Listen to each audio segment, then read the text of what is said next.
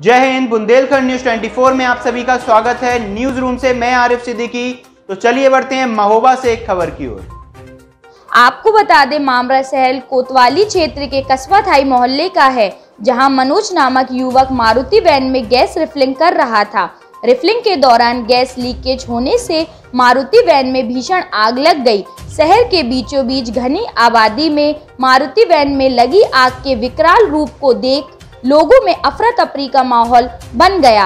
आग के गोले में तब्दील कार से निकल रही आग की लपटों को देख स्थानीय लोगों ने फायर ब्रिगेड को सूचना दी। सूचना मिलने पर पहुँचे दमकल कर्मियों ने कड़ी मशक्कत के बाद आग पर काबू पाया। फ़िलहाल गैस रिफिलिंग के आरोपी मौके से फरार हो गए हैं। महोबा से वहीद अहमद की रिपोर्ट। ये मिल्की पूरा मोहल्ला बताया जा रहा है। ये मनोज करके हैं जिनकी ओमनी है। वो अपने घर के पास जो है अवैध रूप से गैस सिलेंडर से रिफिलिंग कर रहे थे एलपीजी के थ्रू, जिससे शॉर्ट सर्किट होने वजह से आग लग गई है।